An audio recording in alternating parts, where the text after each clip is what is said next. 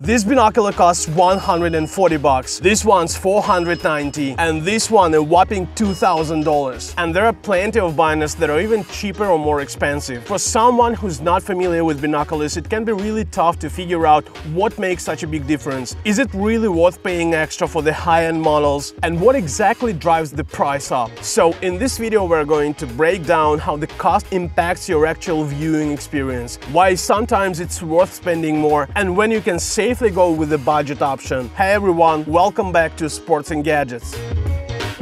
I've got a few Vortex binoculars here. Even their budget models are top-notch compared to others in the same price range or even some more expensive binoculars. I love them because you always get a bit more than you pay for. No matter the price, all their models are waterproof and shock resistant with exceptional glass and build quality. They've got sealed O-rings and a tough coating to keep out moisture, dust and dirt. Plus, every Vortex product has a lifetime warranty. That means if your binoculars get damaged, even if they're completely burned in a fire, fire, they're still covered. So whatever your budget, going with Vortex is a safe bet. But there is still a big difference in price between models. So what exactly makes one more expensive than another? One of the factors that affects the price of binoculars is the type of optical design. Roof prism binoculars, like all these models, tend to be more expensive because they require more complex manufacturing and assembly. But their main advantage is that they are more compact and easier to carry around. On the other hand, Porro prism binoculars have that classic wide design. They are larger and take up more space, but they're also cheaper to produce. But the most significant factor that affects the price of binoculars is the materials they're made of. This includes the body materials like the frame, outer coatings, the quality of the lenses and prisms, as well as the precision of the focusing mechanisms and the diopter adjustment. Materials in cheaper binoculars like those you might find on Amazon for 20 or 30 bucks are usually of really low quality, often made mostly from cheap plastic and they tend to wear out really fast. And I mean really fast, even without any direct damage. Regular use along with exposure to temperature changes and moisture can quickly lead to problems. The most common issues usually start with the twist-up eye cups and the focus wheel. You also can't afford to drop them or use them in extreme conditions because the binoculars might fail, leaving you unable to use them anymore. Now, if we look at specific budget-friendly options from Vortex like the Bantam HD for $69 or this Crossfire HD which starts at $149, the body in these binoculars is made from durable aluminum, and the exterior is covered with rubber armor, which is really tough and protects the binoculars from impacts and drops. They are fully waterproof, fog-proof, and shock-proof. The Crossfire is actually a unique lineup with a build quality that ensures high durability and longevity, and in my opinion, it offers much more value than its price suggests. I've taken it on mountain hikes and camping trips,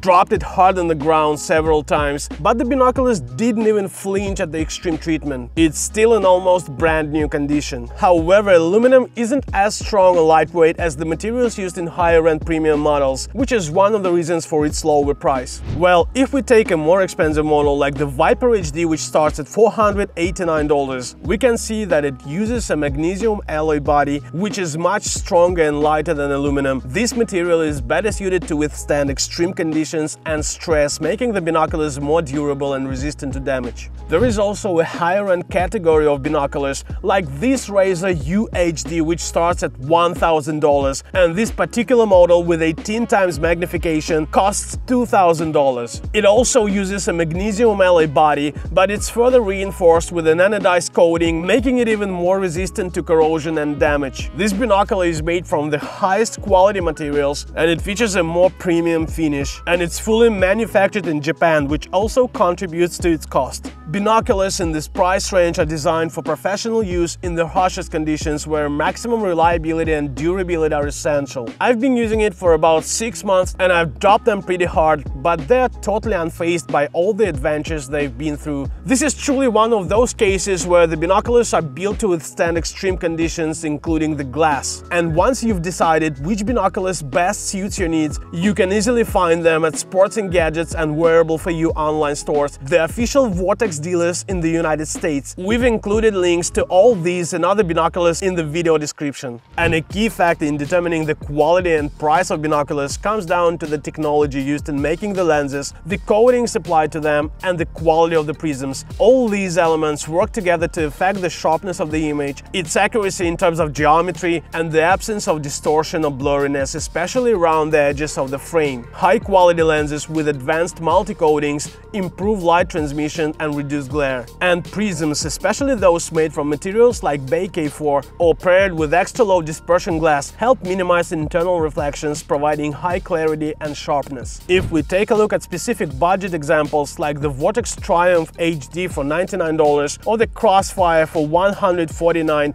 even these affordable models come with high-quality prisms made from BaK-4 glass. This ensures better light transmission through the prism, minimizes distortions, and delivers high clarity and contrast which is typically found in mid-range and even higher segments. The lenses in these models are also equipped with multi-coated anti-reflective layers which enhance light transmission and reduce glare, providing image quality you would expect from binoculars that cost much more. So even in these budget versions you are still getting solid performance. However, compared to more expensive models, they do fall short in aspects like light transmission, image sharpness in low light conditions, and overall attention to detail in more challenging environments. It's still a budget model, but one that's perfectly suitable for most basic tasks and activities. If we take a more expensive model like the Viper HD, it features lenses made with more expensive extra low dispersion glass, which significantly reduces chromatic aberration and improves sharpness and color fidelity. This glass is more costly to produce and delivers higher image quality. The prisms are also made from BaK-4 glass, but with added phase correction and dielectric coating, which increases the reflectivity of the prisms and enhances image quality, making it clearer and brighter.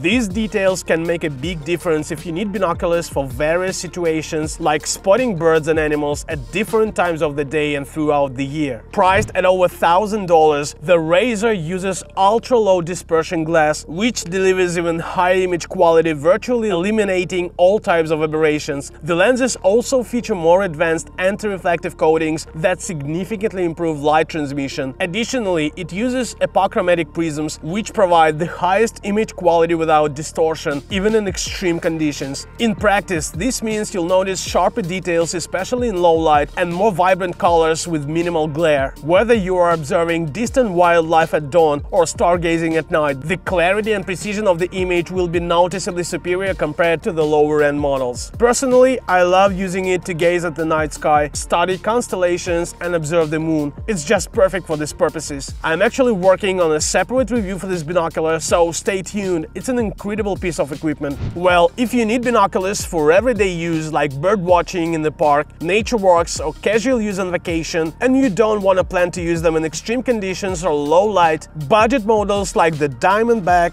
Crossfire or Triumph HD will be an excellent choice. They are incredibly durable, come with a lifetime warranty from Vortex and offer quality that exceeds their price. And if you need something more powerful for specific conditions like low light, extreme mountain hikes, for hunting or photographing wildlife at long distances where high image clarity is crucial, it makes sense to consider more expensive models like the Viper HD or even a Razor UHD. These binoculars offer enhanced optics with advanced coatings on the prisms and lenses, which minimize distortions and improve light transmission. In real-life use, this results in a sharper image with greater detail and better contrast, especially at long distances. Well, hope you found this video helpful. Thanks for watching, stay tuned and see you in the next video.